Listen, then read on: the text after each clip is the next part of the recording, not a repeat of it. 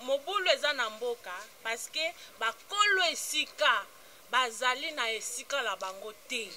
Ata Nzambe ya likolo ayokaka kolela na bango. Jamais mboka oyo ekozala na kimia en tant que ba premier occupant ya mboka oyo baza baza delaisse baza bango moko à leur propre sort baza abandonne eza lokola awa na Congo peuple autochtone ayamba biso Ba ancetres na biso babandaki koyenga yenga bazangaki esika ya kokende mais peuple wana ayambi ye na boboto nionso apesi ye esika alakisi ye ba zamba alakisi ye ba ba ba mayi alakisi ye makambo ebele lelo peuple wana atikali sima biso toye toza na ba immeuble awa na ba Congo oyo na ba Kinshasa toza na ba Lubumbashi partout mais peuple wana mukolo esika na mboka Awa aza ata na eloko te ata nzambe ya likolo papa na ngai est ce que azo sepela na mboka oyo? Lui rappelons que papa alobaki le peuple d'abord et le peuple là c'est d'abord les autochtones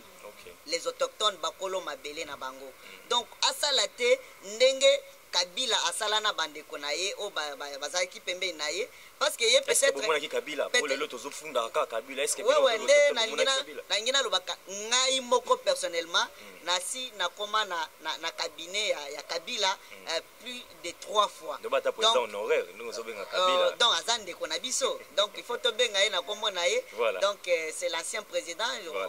on, on reconnaît vraiment ses mérites hmm. c'est un, bon monsieur, il avait vraiment un grand cœur mais Bato Bazaki autour de lui n'était pas de bon. C'est comme ça que même Félix aussi, il doit être entouré des autochtones aussi. Il doit avoir même des conseillers euh, autochtones. Est-ce qu'ils sont capables Est-ce qu'ils sont capables C'est ça aussi. Non, mais, moi-même, je suis là. Donc, euh, vous m'écoutez. Donc, je peux même dire que peut-être autour de lui, s'il y a 100 personnes, hmm. il n'y a même pas 10 euh, personnes qui, qui, pourront me surpasser. Ça, je, Je vous l'ai dit. Okay. Donc je suis un expert en projet. Mm. Et les gens qui m'ont déjà côtoyé, ils mm. connaissent vraiment les capacités que, que, que, que je possède. Ouais. Mboka na biso eza paradis. Mm. Tondimaki koyamba bino, mm. bino pe bo bo bo sala tout pour bo privilégier biso parce que kondo Etienne Tshisekedi ayebisa Mobutu ke Mobutu yo zoloba oh toza lisanga moko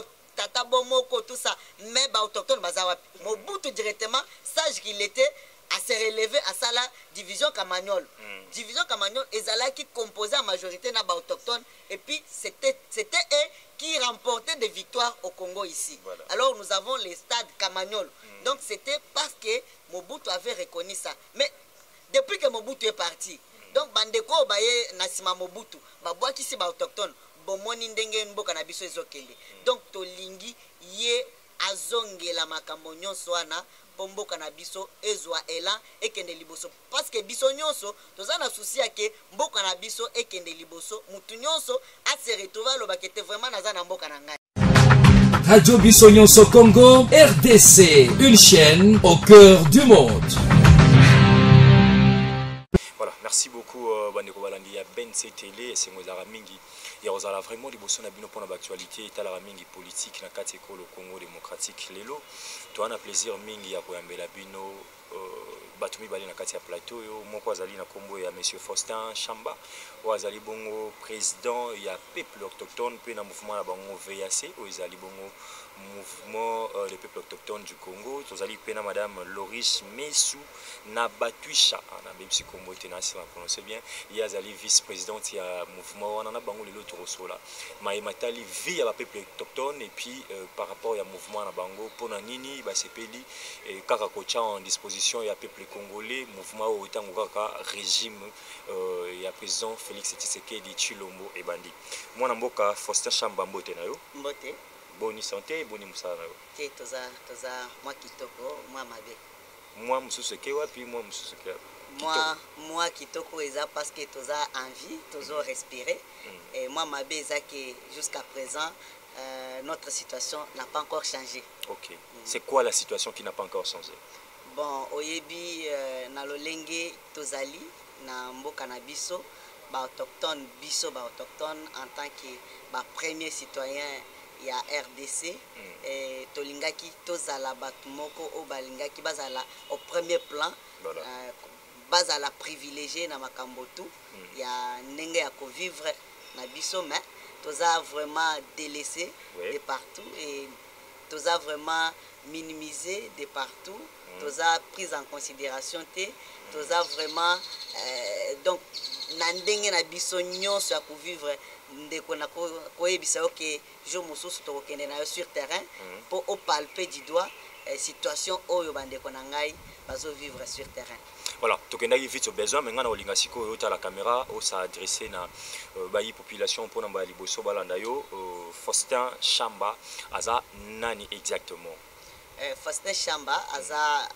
licencie en developpement rural, planificateur de formation, aza president national ya mouvement ya ba mouvement politique bien sur ya ba peuples autochtones oyo ebiangami na kombo ya la voix des autochtones du Congo. Pona nini tobengi voix des autochtones?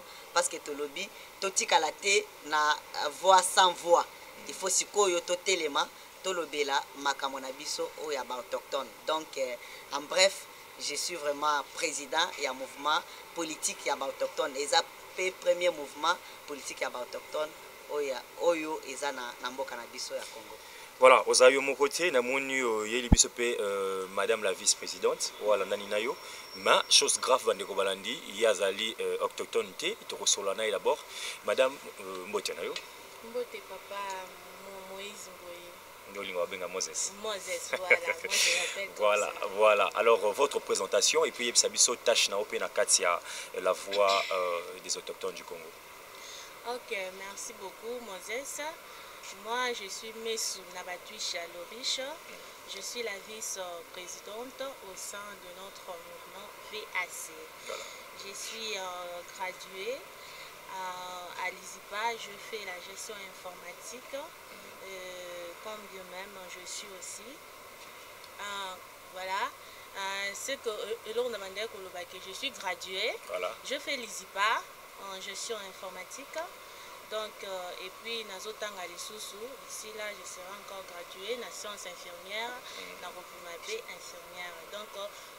Je oeuvre dans le mouvement qui est la VAC pour le bien-etre de peuple octoctone. Voilà, parlez-nous alors, euh, qu'est-ce qui vous a motivé, vous a poussé ya koyebana kosangana na ba peuple octoctone oyo toyebi vraiment depuis histoire na biso euh, ndenge ba marchinisa euh, histoire na bango ndenge batalisa biso ke ba pygme baza bato esengeli kozala na bango te tala parce que parce que mais yo ose décide vraiment koyebana kosangana na bango motivation ezalaki plus sur quoi Oui papa na ngai en tout cas komona makambu oyo totanga na ba ecole wana neti nga personnellement quand je fus eleuve quand je fus liceenne makambu tobandaki kotanga concernant le pigment ça ebandaki kolekela ngai science ekoyebisa biso ke Pygmee aza mutu moko azo mesurer un mètre 44 que aza na maboko milayi et puis nga na bandaki ko trouver yango un peu etrange j'ai dit ah mutu un mètre 44 maboko wana aza mutu ou aza nani donc je me posais pleinement des questions mais na bandaki kozua ba eyano te et c'est sur ce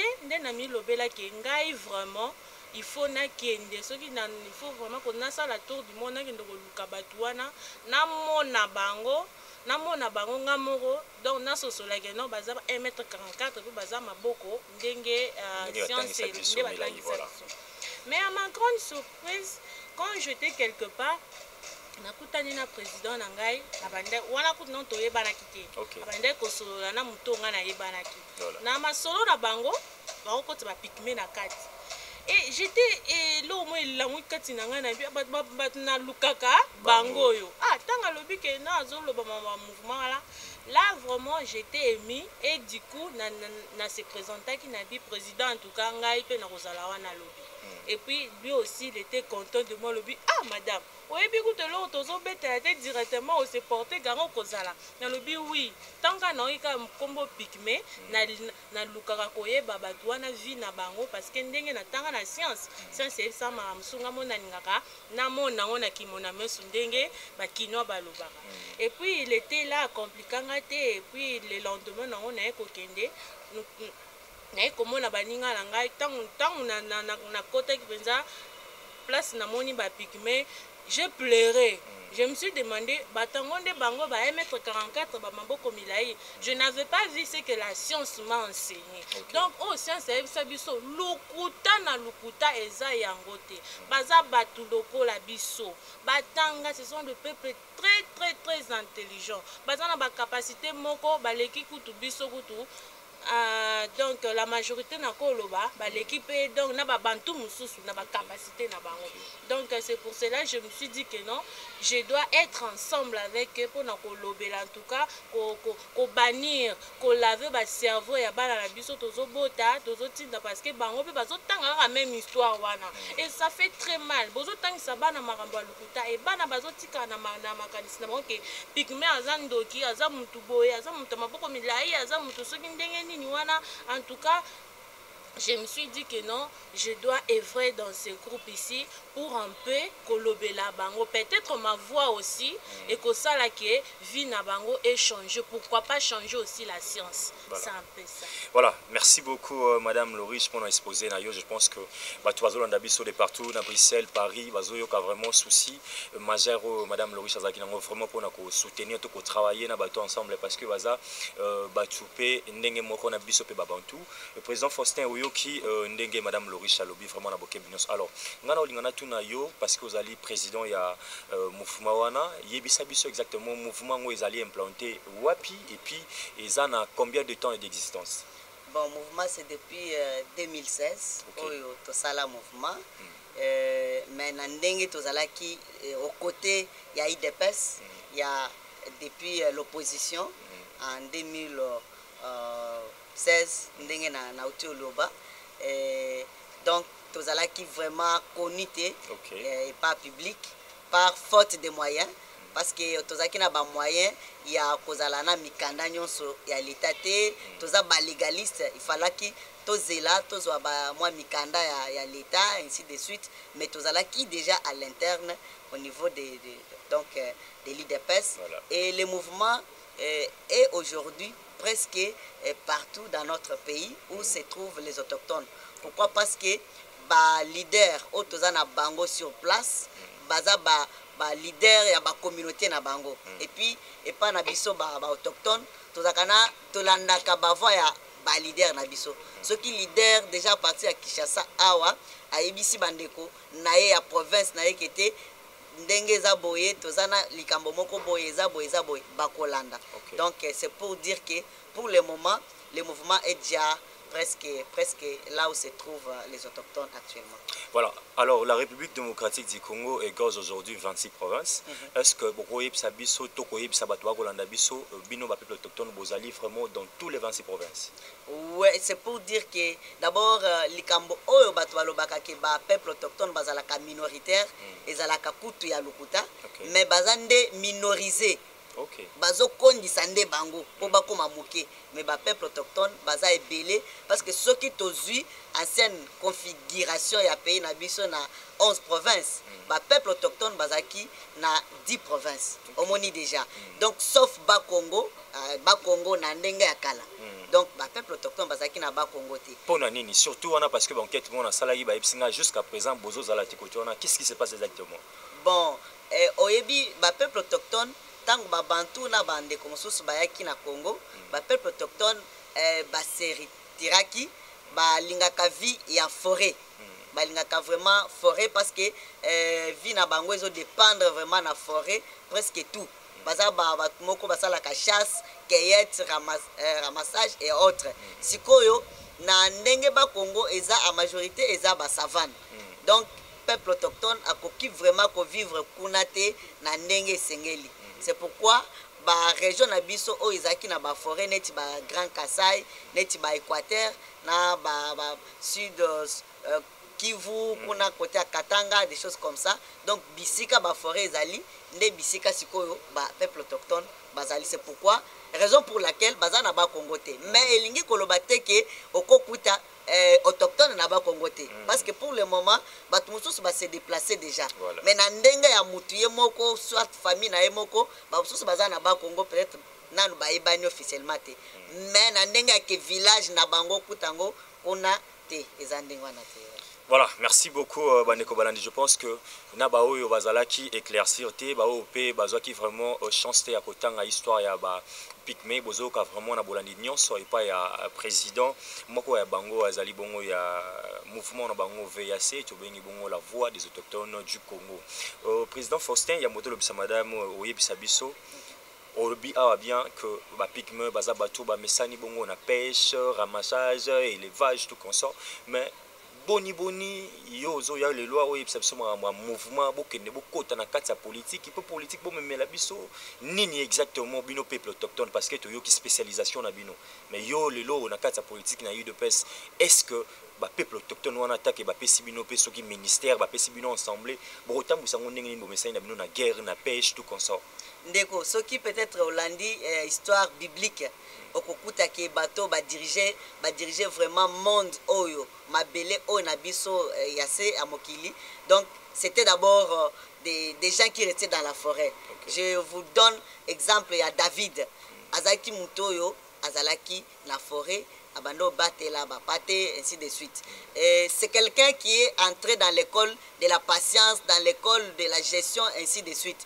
Donc, ceux qui osent Joseph, ainsi de Donc, on commande que Bazala bah, Donc, c'est pour dire que ce n'est pas parce que les peuples autochtones habitent les forêts. Ils habitent des forêts parce qu'ils étaient euh, beaucoup plus discriminés voilà. dans le Mais en passant par euh, bas prêtre Moussous eh, oyo neti eglise catholique na ba eglise mosusu eh, protestante ainsi de suite oyo batie bamwa peut-être école ou bien bazwi bamwa autochtone mpo na kotangisa bango kopesa bango babourse mm. donc esala ke bafamille ya baautochtone mosusu batanga donc mm. à ce moment ici baautochtone oyo batanga baza ebele mm. kutu awa na kinshasa un jour okozala na chance yake to kutana vraiment ata na plus de 1000 autochtones sur place okay. okomona ke d'abord oyo ndeko uh, loriche autaki oloba mm. ye moko azalaki mpe surpris mm. parce que amonaki ke des fois baautochtone mosusu bazalaki na taille na ye mm. eh, mosusu baleki ye mpe eh, mpe na kitoko donc bazali donc babogar ba, ba, bagosto mm -hmm. eh, nga moko nasi natamboli na, na bamboka na biso ya baautochtone ebele il est difficile ya kokuta peut-être moto ya taille na ngai okay. autochtone. Hmm. Vous comprenez un peu ça C'est pour dire que l'histoire, nous devons la réécrire. Nous hmm. devons réécrire notre histoire comme l'avait dit Patrice Emery Lumumba, que l'histoire du Congo doit être écrite par les Congolais eux-mêmes. Donc, tout ce qu'on nous disait, c'était pas vrai. Hmm. C'était des mensonges, euh, juste pour affaiblir le peuple moko boye, o azaki na sagesse, o na, na intelligence Belé, mindele qui est eh, diviser pour mieux régner voilà. donc so tomoni ke bato baza vraiment très intelligent parce que imaginez-vous moto aza à mesure ya komaîtrise lion mm. na forêt hein? lion ezoya boye aza à mesure ya komaîtrise lion eh, akangi yango mm. na maboko mm. sans arme sans quoi donc moto ya ndenge wana c'est ainsi que balobaka ke bazalaka na kisi te eza kisi te eza nde eza nde bwanya mhm. bwanya nde baza na yango raison pour laquelle mindele bamonaki ke te so toapproche bato batangi eh, bango vraiment ba sala ke mboka na bango ezala se protege développer ezala Voilà. protege ok na ce sens là donc toza na ba capacité nyonso ndeko ya merci ko-developpe beaucoup mboka na euh, biso. mwana mboka faustin nabanzi ete bandeko bakolanda biso de partout bazo comprendre vraiment ezali ba compétence mais je vous promets que ekozala kaka likambo ya bouche à l'oreille te moïse mbuya kozala vraiment na bango sur terrain pour euh, euh, kolakisa bino nini oyo bazali capable parce que babi basanganaka vraiment ebele tokotala baintellectuel oyo bazali mpona koya kolakisa mpe bino opinion pourquoi pas diaspora ya libanda ya congo madame loris tolobisa o sikoyo mouvement na bino la voix des autochtones du congo eza euh, na combien des autochtones déjà oyo boza retenu awa na kati ya kinshasa d'abord mpo tolobela baprovince mosusu te hmm, okay. awa na kinshasa toza ebele voilà. Ba octoctone baza vraiment ebele pona soki tolobi to compte ba ba ba ba province mususu te tozui kaka ya kin awa toza plus donc toza ebele soki naye na compte 1000 tokokoma pe tokoleka mais na kati association sikoyo na kati ya mouvement na bino boza deja combien na bango ah, na kati ya association tokozala plus de 100 plus de 100 okay. plus de 100 donc nous sommes nombreux toza mm. ebele penza toza ebele mouvement ezo marche en, en, en, en bonne sante toza malamu tozotambola tozobunda mpona ke ba voix na biso e, e, e, e, e, ezala attendu mpe bapesa biso miyano na ba voix oyo tokosenga Voilà. Yambo to lobisa président mpo na message oyo akoki kolancer epai ya président de la République et puis ba autorités ya mboka na biso. Eza mpe question tokotuna madame. Lelo exactement soki ba pesi yo mpifo ya kolobela ba peuple autochtone nini oyo yo okoki kosenga pona bango et puis eh, na situation actuelle déjà toyebi que toza na gouvernement na biso eza déjà en place tout consort est ce que esengeli te bazela 2023 peut-être pour que bayeba pe koluka esika nini bakopesa bango par rapport à ba compétences to yo eloko nini okolancer comme message fort en tout cas mpo na ngai nakosenga kaka d'abord comme ye moko Biso peuple octoton to telemi pourquoi ba pygmee wana ba telema dejà na ba regime oyo eleki eleki ba telema dejà ba loba ba loba mais mutu moko te azalaka wana pona ko repondre bango mutu moko te azalaki wana pona ko tendre bango la main o ke non boya tokuta bino awa bino mutu boyamba biso tokuta bino awa te esalema te papa na ngai nako kende mua musika koloba Lelo oyo soki mboka na biso eza penza eza penza bien te mbulu mbulu mbulu eke eleki naloba ata ndenge ba ba ba kinois balobaka mm. donc mo, mobulu eza na mboka parce que bakolo esika bazali na esika na bango te ata nzambe likolo ayokaka kolela na bango jamais mboka oyo ekozala na kimia en tant que Ba premier occupants ya mboka oyo baza baza delaisse baza bango moko a leur propre sort baza abandonne une fois seulement reconnaissance ekozala envers biso ba oyo bokomona ke congo ekokende ekotam kutu kutu kutu donc wana okomi lokola okomi kopesa prophetie moko ya malheur mpo na mboka na biso soki ke bapesi bino euh, suite mwa favorable te mboka ekozala kaka na mbutu mbutu c'est ça non, en quelque sorte papa moïse hmm. soki mm. oyoki nga bien voilà. nalobi nazoloba yango eza émission tozosala mokili mobimba epuis bandeko na ngai ya diaspora bazoyoka mm. ngai très bien ata na ndako to ndenge tozalaka tozobota bana mm. mwana oyo areconnetaka papa na ye te mm. asukaka ndenge nini mwana wana bino moko na bandako bopesa biso bareponse eza lokola awa na congo peuple autochtone Ayamba biso. Ba ancetres na biso babandaki koyenga yenga, bazangaki esika ya kokende. Mais peuple wana ayambi ye na boboto nionso, apesi ye esika, alakisi ye ba zamba, alakisi ye ba ba ba mayi, alakisi ye makambo ebele. Lelo peuple wana atikali sima.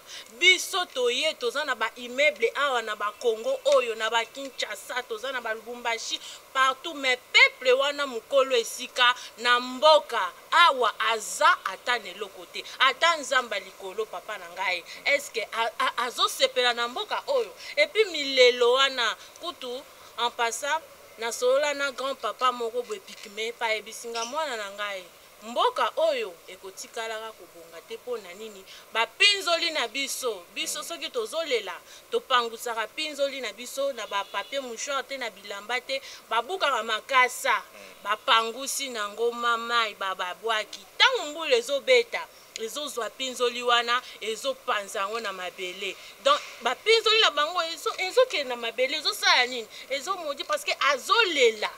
mukolo eloko azolela mpo bazo reconnaître je pense que le message est passé président to lobisa pe yo oyoki vraiment ndenge euh, madame Loris alobi par rapport ya message fort pe souci na bino alors ngai nako lingo s'adresser epai ya mokonzi ya mboka ye moko le président de la république et puis est ce que déjà avant nanu opesa message wana est ce que bosi bomekaki osala badémarche ndenge madame loris azoloba epai ya bakonzi ya mboka pour que bayebana kopesa bino pe ba valeur na bino to pe ba merite oyo ezo sengela ke bozwa to bosalaki no ba demarche wana te tozo ya lelo ta mosusu toko ganga kaka na television mais demarche esalama te. Bon ba demarche eza vraiment en cours toyebi ke to tokutana na na mokonzi parce que ye moko aloba ke azo lutter contre toute forme de discrimination et alors nous nous l'appelons nous lui rappelons ke papa alobaki le peuple d'abord et le peuple là c'est d'abord les autochtones okay. les autochtones bakolo mabele na bango mm. donc asala te ndenge kabila asala na bandeko na ye oyo bazalaki pembeni na ye parceke ye peut-être kabila po lelo tozofundaka kaka kabila eske wewe nde nalingi nalobaka ngai moko personnellement mm. nasi nakoma na, na, na cabinet ya, ya kabila mm. euh,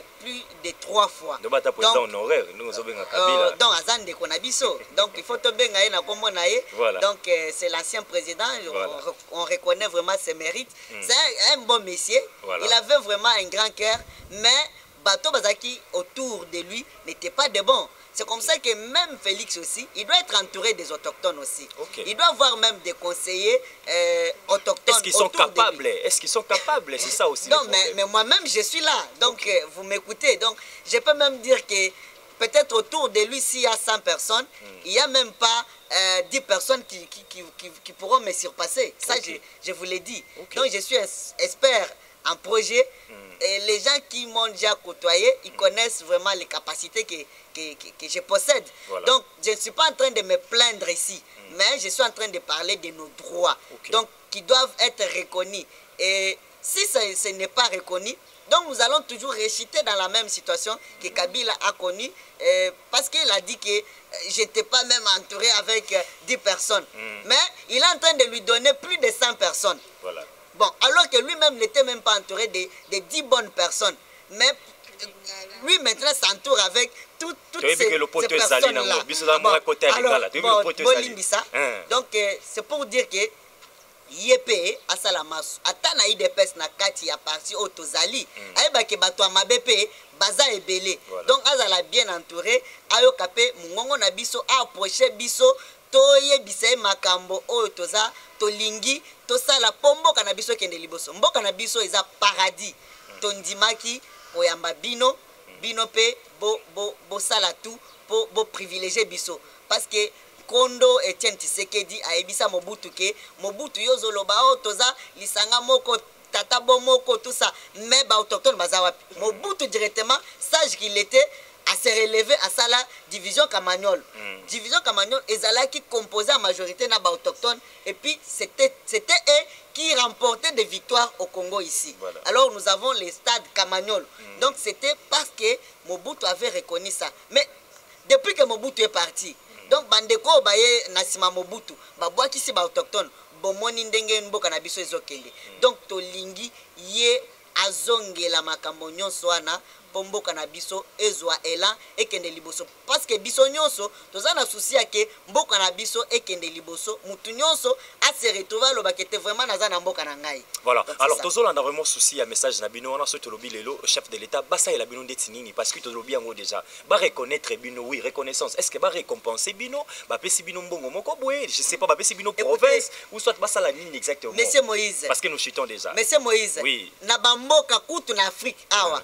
bazo futa bazo futa ba autochtone bazo pesa bango kutu ba mbongo ndenge olobi wana mm. bazo futa bango mm. na ba mboka mosusu bazo pesa bango ba bourse ainsi de suite baza na ba droit moko toza na loi mm. oyo etaleli ba autochtone il faut bazala pe bazala na na ba député copte okay. po balobela bango na, na parlement kuna mm. mais nini wana esali soki autant de, de, de d'année bon bazobwakisa ba yango mm. bazolobela yango te mm. donc tokoki mpe kozala baministre ba tokoki mpe kozala baambassadeur mm. tokoki mpe kozala bachef ya baentreprise monene mpo mboka na biso ekende liboso tosala lisanga tokende liboso mm. donc toza na bacapacité nyonso wana donc c'est pourquoi nous exigeons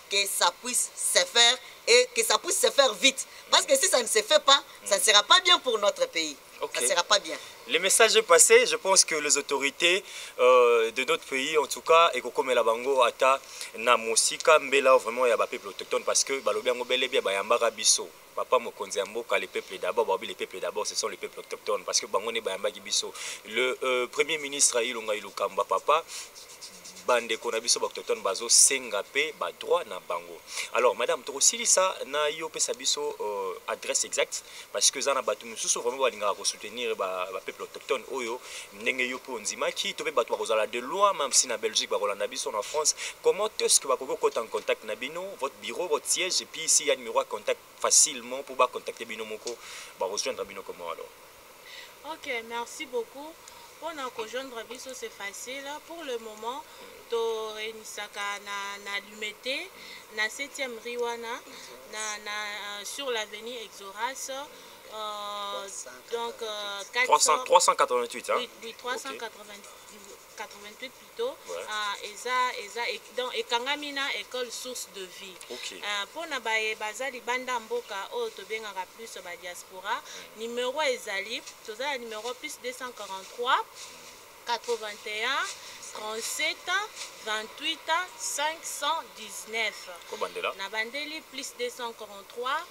81 37 28 519 voilà. donc euh, c'est un peu ça numero wana ezali soki olingi kosoutenir mouvement oyo kutu mpe na koprofite na lance mm. bientôt tokosala sorti sorti officielle okay. tozala na biso déjà mais sorti officielle lokola tozwi mwa mbongo il faut loba bongo tokomi na pouvoir ozalaki baopposant président ozalaki na opposition sikoyo boza na majorité boza na pouvoir na majorité sorti officielle ezosalama hmm. ezosalama kala mingi te la date la, la date a été déjà donnée c'était prévu mpo na esalama le 21 oyo hmm. donc tokozala na besoin ya basoutien na bino hmm. bobenga biso Bo fortifier biso on a vraiment besoin des conseils surtout le plan on a vraiment besoin donc surtout vos soutiens toza na bango parce que mouvement oyo eza pe mouvement na bino ba octoctone misusu pe baza peut etre libanda ya mboka mouvement oyo eza wana pona biso nionso eza kaka pona ba pygmee te.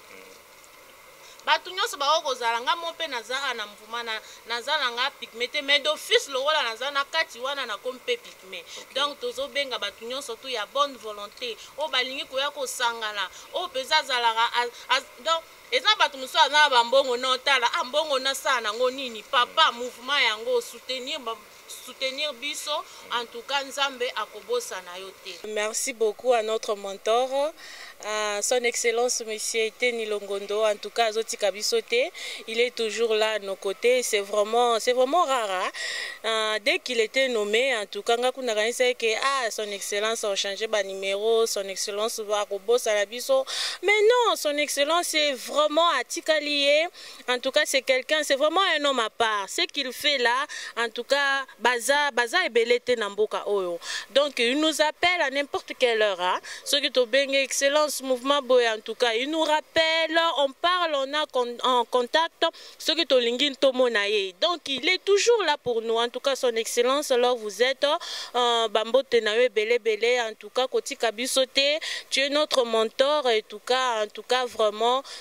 to to ko, koza na kozala na yo en tout cas eza mpo na biso eloko moko ya makasi kaka ndenge président alobi awa pourquoi pas ozala dauphin parce que ozolandela makambo président na biso Fatih azoloba oza vraiment na souci ya ba peuple autochtone donc omi omikomisi pe pygmée en tout cas vraiment nzambe apambola yo abakisela ya mingi ya mingi place ozali en tout cas Mbote na yo kotika biso te nous sommes là pour toi on te soutiendra toujours partout place nyonso kozala peuple autochtone akozala toujours na yo en tout cas bon séjour à toi là où vous êtes merci beaucoup merci beaucoup euh, madame Loris message eza vraiment véhiculé et puis na ba diaspora nyonso bazui vraiment libaku ya kutana na biso je pense que bozali vraiment ebele alors euh, ndeko Faustin tokabona na yo pe moi message ya suka po tosisi vraiment to déborder kutu ngonga Wewe, message ya suka eza ke topesi bino matondo mm. mingi mpo na koyamba biso ba autochtone mpe toyebisi bandeko ke ndenge